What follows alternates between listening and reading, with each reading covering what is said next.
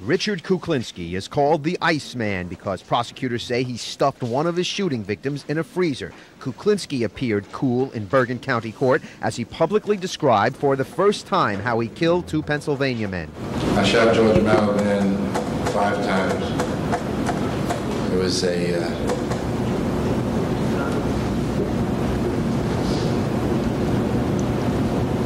it was due to business. Uh, Louis Masgay on July 1st, 1981. I uh, shot him once in the back of the head.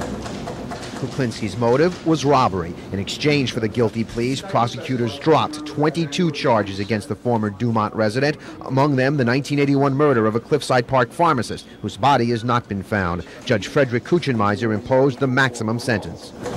Thus, Mr. Kuklinski must serve a total of 60 years before he's eligible for parole at the age of 111. The 53 year old Kuklinski was convicted in March of killing two other men by giving them food laced with cyanide. The 60 years he was given then will run concurrently with this latest sentence, and Kuklinski is bitter.